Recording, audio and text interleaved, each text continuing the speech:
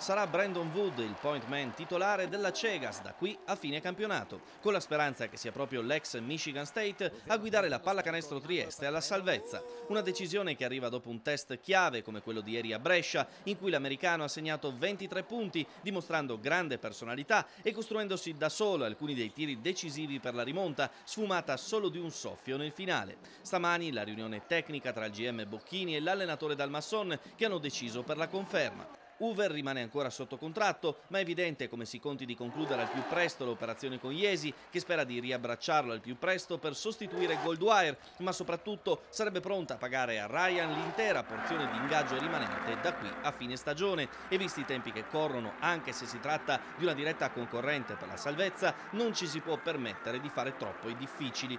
Quanto alla partita di ieri, la Cegas è riuscita per l'ennesima volta a rimettere in piedi una gara che sembrava chiusa dopo pochi minuti. Dopo il buon inizio sull'asse Wood, Carra, Di Liegro, infatti i bresciani sembravano poter dilagare con le triple di Loschi e Slay e le accelerazioni di Giddens 28 a 16 all'ottavo minuto. Trieste però non ha abbassato la testa e pur rimanendo sotto nel punteggio e subendo un'altra frustata potenzialmente decisiva nel terzo quarto con gli Iesini avanti di 16 è riuscita ancora una volta a reagire. Anche Harris e Candussi hanno messo mattoni importanti sotto le plance e Wood ad attaccare il canestro a ripetizione inventando canestri o smarcando i compagni. Si è arrivati così a pochi secondi dal termine con i bresciani avanti di soli due punti, quindi la rimessa decisiva. Di Liegro si smarca millimetricamente, fallisce il layup di un soffio ma ci sono due liberi per andare ai supplementari con due secondi sul cronometro. Fallito il primo e già festa a Brescia.